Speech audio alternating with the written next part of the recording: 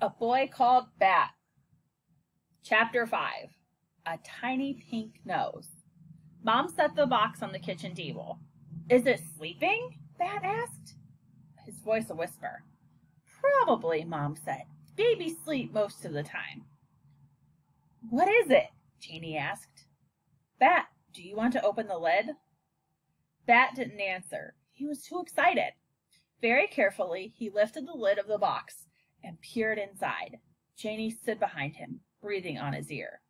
You're breathing on my ear, Bat said. Janie ignored him. It's just a bunch of rags, she said. Mom walked around to the far side of the round table and reached into the box. She scooped up the pile of material and sat down. Look! Bat watched as Mom shift the towel in her arms. A nose peeked out, a tiny pink nose, and then two slanted, closed eyes, a forehead covered in downy fuzz, little ears still curled tight against his head. Janie began, Is that a. It's a kit, Bat said, enchanted by the tiny creature, wanting so badly to hold it. A baby skunk!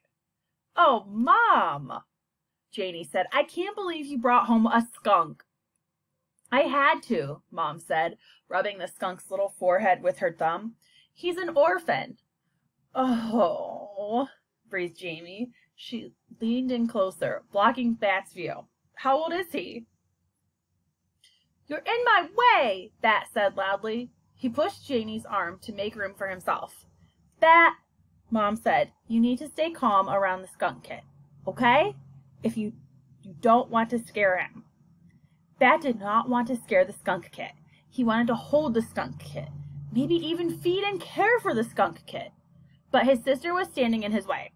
Move, Janie, he hissed at her as quietly as he could. Why don't you both sit down, Mom said. I'll tell you all about him. Janie plopped down into the chair on Mom's right, so Bat went around to help her on the other side and sat in the chair on her left. He scooted the chair as close to Mom as he could. The kit was still tucked into the towel, only his tiny little face visible. Eyes closed, he opened his mouth in a yawn, his tiny pink tongue arching out. Mom said, Bat, do you remember when we smelled that skunk on the way to school this morning? Bat did remember. They had smelled it just after they'd pulled off their street, Plum Lane, onto Anderson Road. He had smelled it, and Mom had smelled it too. Bat craned his neck, looking out each window carefully. He'd seen lots of people on bicycles. They lived near a college, and the students mostly rode bikes to class. And he'd seen other cars, and some people on foot.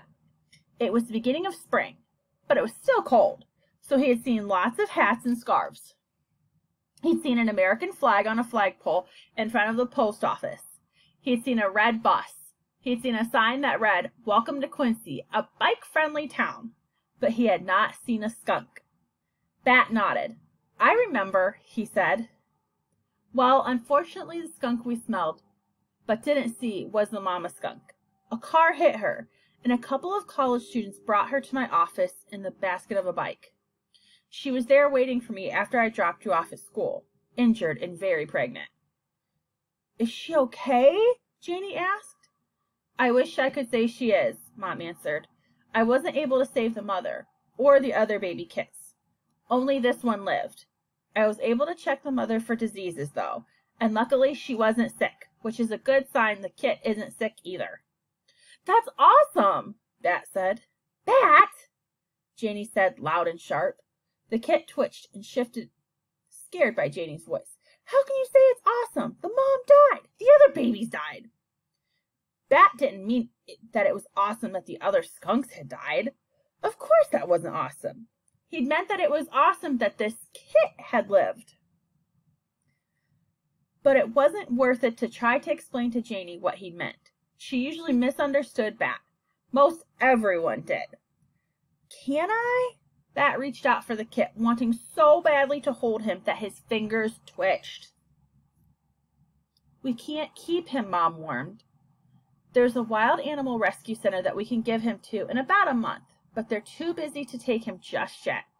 So we can help Get him bigger and stronger before we hand him over to the experts. They'll raise him until he's ready to be released into the wild, when he's about five months old. Then she passed the tiny kit, wrapped in towels, into Bat's arms. The kit was so small that Bat couldn't even tell he was in the towel, except for the tiny face that peeked out. He cradled the bundle in his arms. He felt his face stretch into a wide smile, so wide it made his cheeks sore. Chapter 6 Skunk Lunch Can it spray yet? Mom, Janie asked. No, Mom answered. Soon he will be able to. But when skunks are babies, they can't spray as strongly as the adults. Bat realized he didn't know a lot about skunks. He knew they sprayed a stinky smell to protect themselves, and he knew they were mammals, and he knew they were omnivores because they ate bugs and smaller animals and plants too. But he didn't know very much more than that. He decided to learn everything about skunks. What are we going to feed him? Bat asked. Can I do it? He's too little to eat yet, so we need to feed him formula. They don't make skunk formula, so we use puppy formula. It's the closest thing to mother skunk milk. Janie stood up.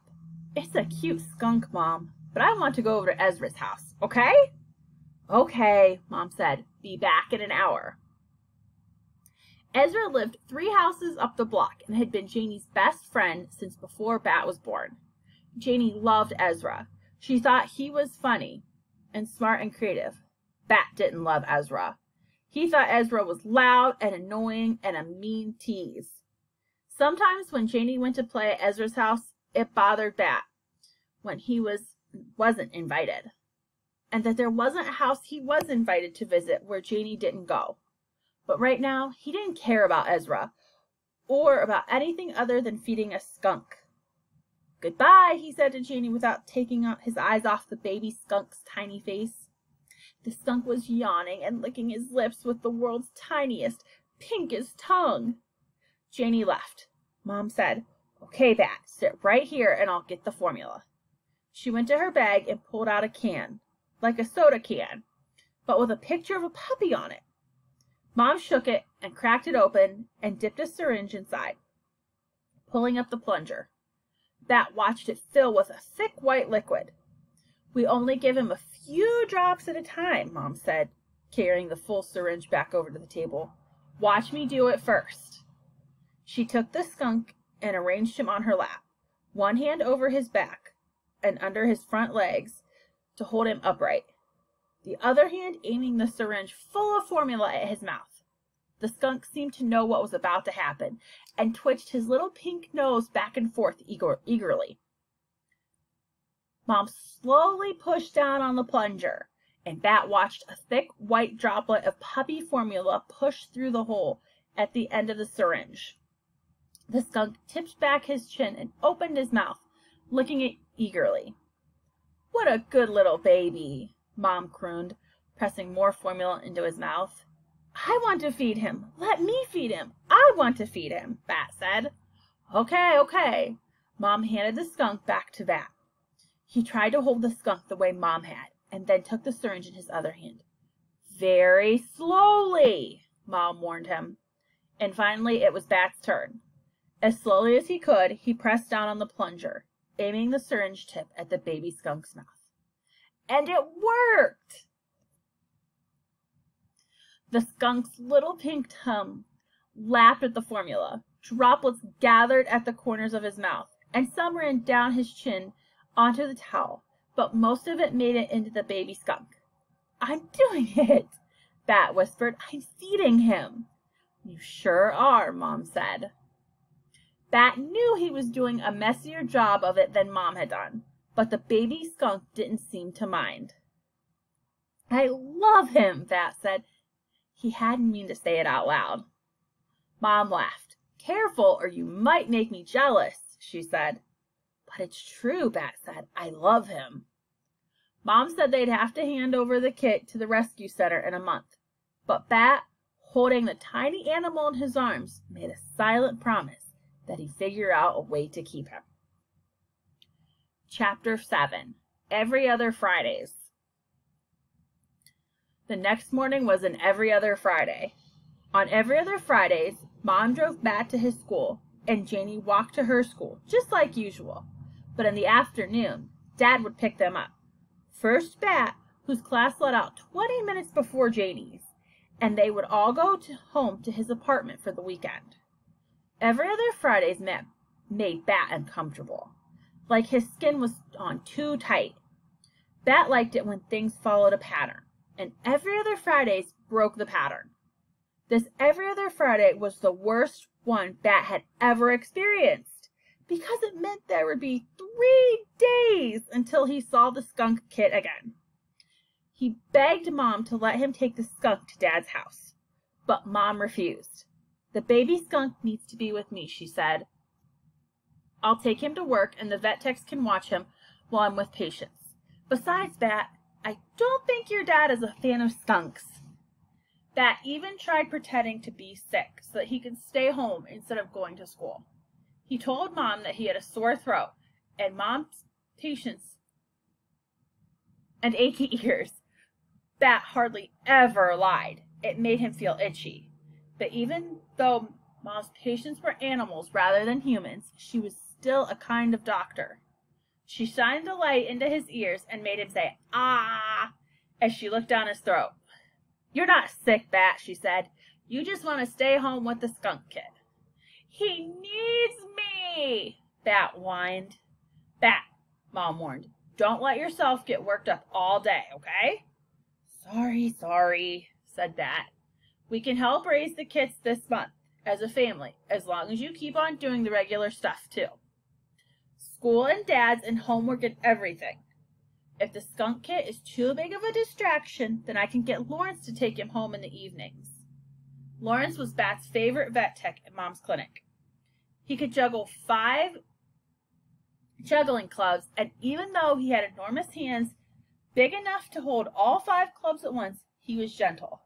He had the deepest voice Bat had ever heard, deep like space. But no matter how much Bat liked Lawrence, there was no way he was going to let him take the kit home after work.